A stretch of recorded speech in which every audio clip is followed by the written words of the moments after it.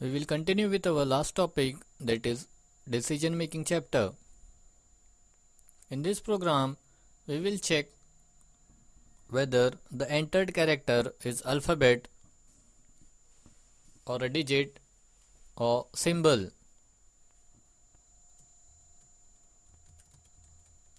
First we will include header files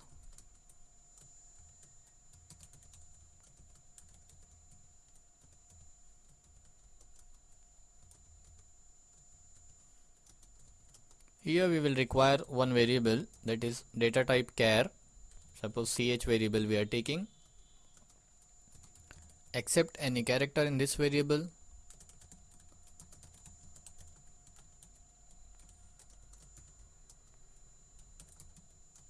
With the help of scanf function, we have to use %c specifier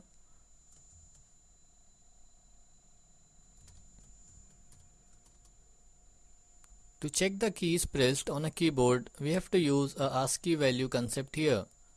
As computer language is zeros and ones, so for each and every key a number value is denoted. We have to check those numbers. If the user presses between A to Z, that is lowercase or uppercase, then the series of ASCII value will be CH greater than equals to 65 and ch less than equals to 90 for uppercase we have to use the OR operator here. And once again check the value. The uppercase value will be from 97 to 122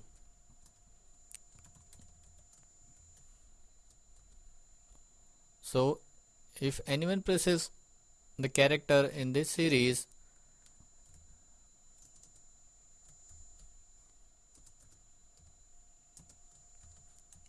Then it will be a alphabet.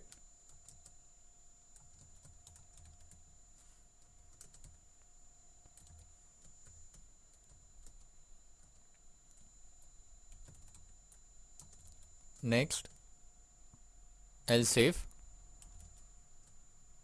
Apart from 65 to 90 and 97 to 122, user presses the number series, then ASCII value for a number key is 48 and CH less than equals to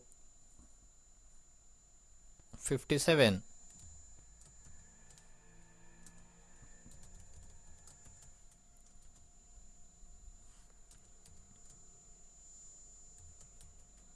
So it will be a digit. Which number you have pressed to display that? Just concat with ch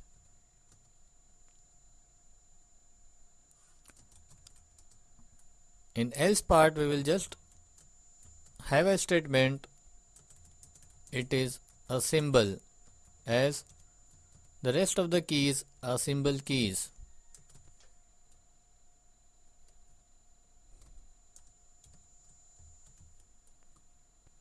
which symbol you have pressed? Just concat with ch variable. As we are storing the value inside ch variable.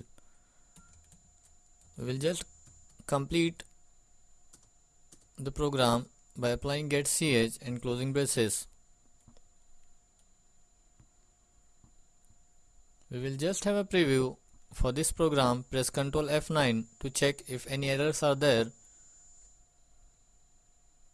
we have found no errors. Just press any alphabet. Suppose A see A it is an alphabet. If you run the program once again suppose any number if you press see 8 it is a digit. To clear the previous text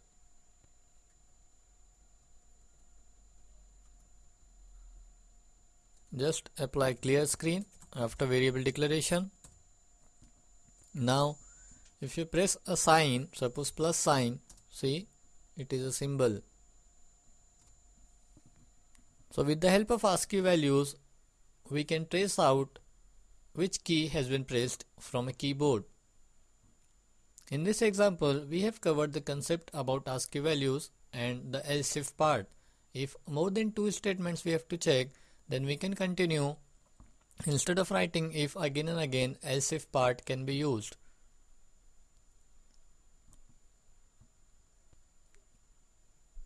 Thanks a lot for watching HIT Computer video tutorials.